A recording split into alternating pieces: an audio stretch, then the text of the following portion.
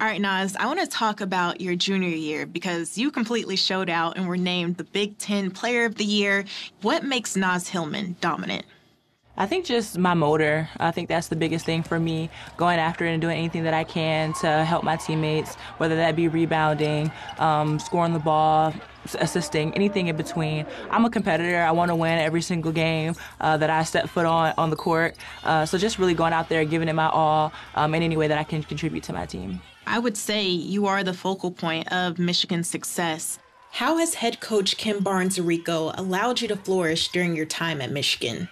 I think the biggest thing is that she's been challenging me every single day um, since I was a freshman.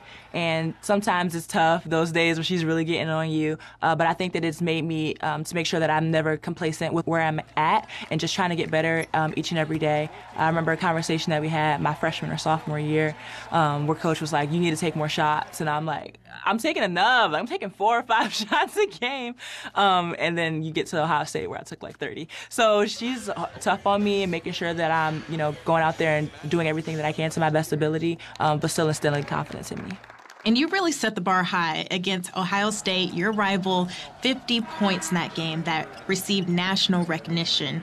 But I want to know what's more in store for Naz Hillmon. For me, my biggest the goals are everything for the team. Obviously, was a big year for me individually, which is great. I do, you know, appreciate and like, super excited about all those accolades. Um, but it's about time that our, our team is taken to a different level. And as a senior, I think that's the biggest thing on my plate right now.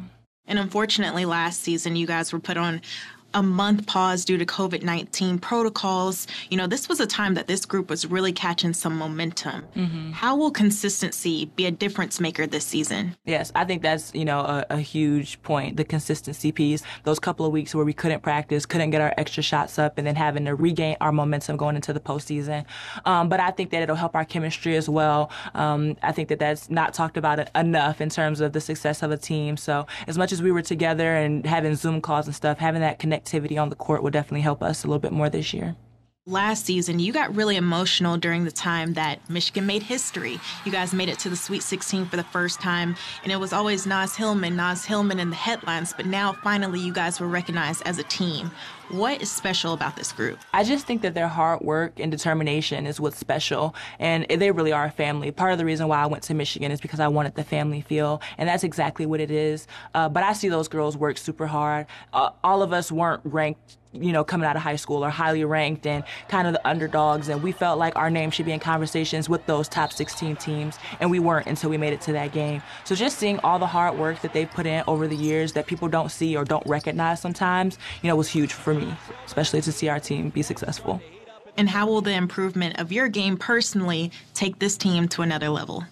I think for me, I just try to hold everybody to the highest standard, and that starts with myself. And as long as I'm pushing myself every day, I know that my teammates will, will come along with me. And, and sometimes on those days where I'm not my best, they're, they're pulling me along and chugging me along. So our conversations is that last year was great, but we want to be better.